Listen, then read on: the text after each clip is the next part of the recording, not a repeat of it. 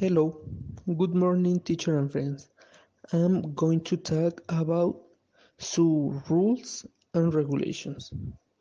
Number one, you can visit the zoo at the different times with your family.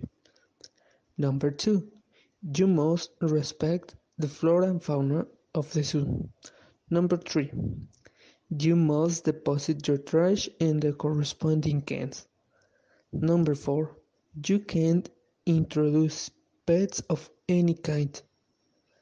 Number five, you can enter alcoholic beverage.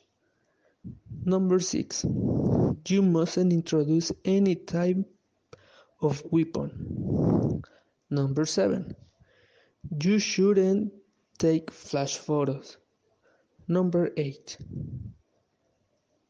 you shouldn't feed the animals.